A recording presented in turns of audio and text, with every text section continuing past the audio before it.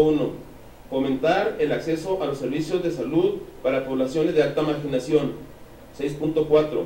Reducir la mortalidad de niñas y niños menores de 5 años a través de medidas de prevención y atención. Y dentro de este punto se compromete a, abro comillas, brindar atención médica integral de niñas y niños que no cuenten con seguridad social.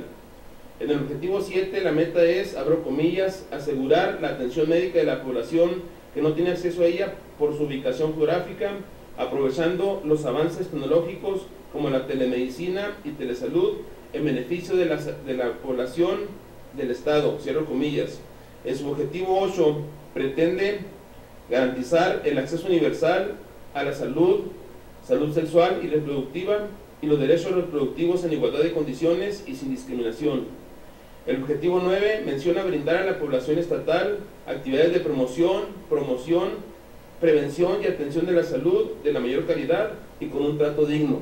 Y dentro del mismo se establece metas como 9.1, elevar la calidad de los servicios de atención médica y asistencia social del personal de salud e información, así como la profesionalización y actualización de los recursos humanos para la salud.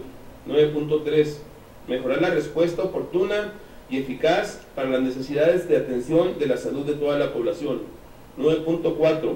Hacer más eficientes los servicios de salud mental y atención a las adicciones con enfoque derecho humanista, ajustados a un modelo de atención integral a toda la población.